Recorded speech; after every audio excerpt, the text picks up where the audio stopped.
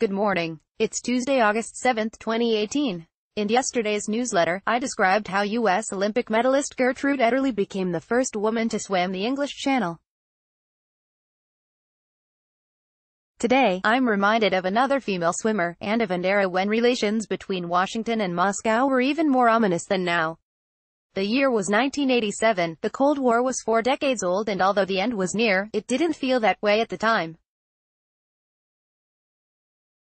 The United States possessed 23,500 nuclear warheads, the Soviet Union had a similar number. Leaders in both nations wanted to reduce those arsenals, and mutual tensions as well, but mistrust remained. Ronald Reagan was convinced the Russians were cheating on the SALT II limits. Mikhail Gorbachev considered Reagan's Strategic Defense Initiative a violation of both the spirit and the letter of the 1972 Anti-Ballistic Missile Treaty, and an unnecessary provocation. In this frosty environment, an American woman clad in only a bathing suit, slipped into 40-degree water in the Arctic Ocean to begin a solo swim across a forbidding stretch of the Bering Sea. The swimmer's name was Lynne Cox. Beginning her 2.4-mile journey in Alaska and finishing in Siberia, she was attempting to give Russians and Americans something they could root for together, namely, her success and survival. To give you an idea of just how frigid that water was, 40 degrees is about the temperature of ice water you drink in a restaurant. Sports trainers warn athletes that if they stay in 40-degree whirlpool baths for more than 12 minutes their muscles can sustain permanent damage. An average person who plunged into 60-degree water, 20 degrees warmer than the Bering Sea was on August 7, 1987, would begin experiencing hypothermia after several minutes and might go into shock. Lynne Cox was in the water for over an hour. Maybe it was only a symbol, or maybe it was an omen, or, just maybe, government officials staring at each other across the abyss of the Cold War were inspired by her. Gorbachev said as much later while having dinner with Reagan. I'll have more details on that amazing swim, which I wrote about five years ago, in a moment. First, I'd direct you to Real Clear Politics front page which presents our poll averages, videos, breaking news stories, and aggregated opinion columns spanning the political spectrum. We also offer original material from our own reporters and contributors, including the following, asterisk asterisk asterisk state-level Democrats could ride a wave in November. Veteran political reporter Lou Cannon writes that state legislative elections held since Donald Trump became president point to a Democratic resurgence in offices dominated by Republicans. President Trump, please help save Chicago. RCP contributor, Steve Cortes argues that, that city leaders have shown themselves to be incapable of dealing with out-of-control street violence. Post-communist Russia is not the Soviet Union. Solzhenitsyn scholar Daniel J. Mahoney warns that the West should not confuse the old totalitarian government with Putin's authoritarian one. Renewing localism for the 21st century, in the latest installment of Real Clear Policy's American Project series, AEI's Ryan Streeter contends that localism offers the solution to our divided politics. Time to stop subsidizing Amazon. Also in RC policy, fair marketplace advocate Robert B. Engel asserts that tax subsidies for the tech company hamper small businesses. As Venezuela dollarizes, monetarism's conceit collapses. Real Clear Markets editor John Tamny explains how money supply is an effective production, not of central bank planning. Critiquing the inequality alarmism of Thomas Piketty. Also at RCM, econpwr.com editor Quinn Connolly makes a case that living standards have surged amid the natural rise of wealth and equality. Why hasn't the U.S put a price on carbon yet. In Real Clear Energy, DSM North America President Hugh C. Welsh applauds a new bill that would impose a tax on carbon.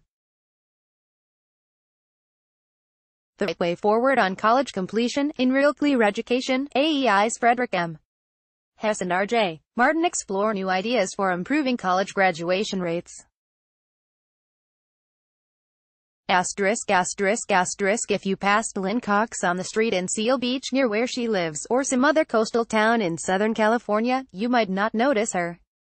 If you did, you'd probably expect the matronly-looking Cox to climb into her minivan to ferry kids or dogs.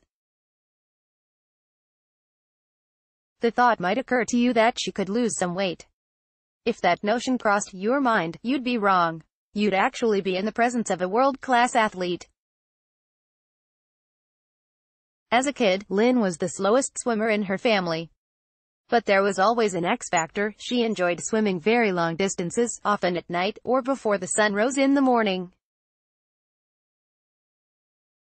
Also, the colder and nastier the weather, the more she liked to be in the water. In part, this is made possible by her physique.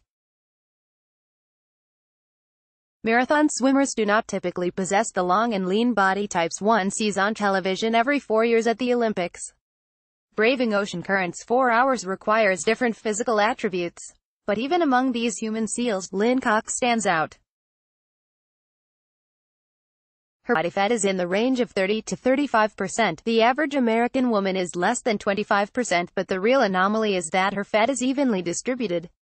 The effect is that of a natural wetsuit. That's the physical part. Lynne Cox's mental and spiritual makeup is even more extraordinary.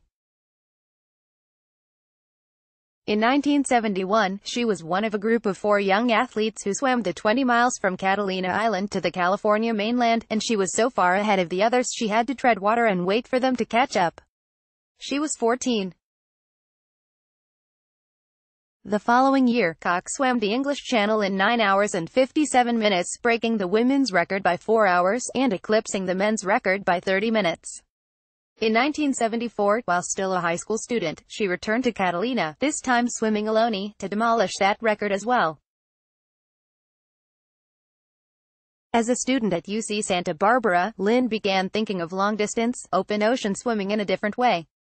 Even at Los Alamitos High School, swimming historian Charles Sprawson discovered, her teachers noticed her fascination with impossible things done in history by individual people. As a college student, she found a way to merge this fascination with her love of swimming. Cox began to imagine how her talents and her gifts could be used to bring people together. This lesson was brought home to her in dramatic fashion in 1975 when she announced she would attempt to brave the currents of New Zealand's Cook Strait. It's an arduous 16-mile swim and by the time she pulled herself to shore on the rocks of the South Island, the entire country, including the Prime Minister, was tracking her progress. Church bells pealed across New Zealand when she made it safely out of the water. Lynne Cox had found her mission in life. The most important idea that came out of it was that a swim could be more than an individual athletic challenge, she explained afterward. A swim could be a way to connect with people from different countries, and it could be a way to open borders between people. The Bering Sea swim on August 7, 1987, took three decades to pull off. Not because of the near-freezing water temperatures, but because of the icy relations between the two superpowers on either side of the Bering Strait. On the Alaska side was Little Diomede Island. On the Siberian side was Big Diomede. The ice curtain, as locals called it, divided the two islands. No one, not even the Inuit people whose families lived on both islands, were allowed to travel from one to the other by boat. No human being had ever tried to swim it. Cox wore down Russian and American authorities by the sheer audacity of her request. What security threat could she pose in her bathing suit? Her trip finally approved, she set out on a day in which the cold sea was calm, but also covered by a thick fog, making it difficult to see. When she crossed the international date line, a journalist in one of the boats following her called out, It's tomorrow, which lightened the mood. 50 yards from Big Diomede, Cox realized the closest rocks wouldn't suffice. A Russian welcoming party was on a beach half a mile away, which meant increasing her time in the water. The whole point of the swim, as she saw it, was to reach out to the Soviets, so, undaunted, she braved the worst stretch of the swim, and was pulled out of the water by welcoming Russian arms, wrapped in blankets and walked to a warming tent before attending a party on the beach. Among those impressed was Mikhail Gorbachev. Four months later he was at the White House to sign a historic treaty limiting intermediate-range missiles. At that ceremony, President Reagan paid homage to the Soviet leader by quoting a Russian proverb. The harvest comes more from sweat than from the dew. At dinner, it was Gorbachev's turn to offer a toast. Last summer it took one brave American by the name of Lynne Cox just two hours to swim from one of our countries to the other, Gorby said. We saw on television how sincere and friendly the meeting was between our people and the Americans when she stepped onto the Soviet shore.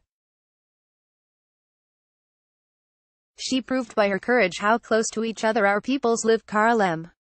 Cannon Washington Bureau Chief, Real Clear Politics at Carl Cannon, Twitter, see Cannon at realclearpolitics.com.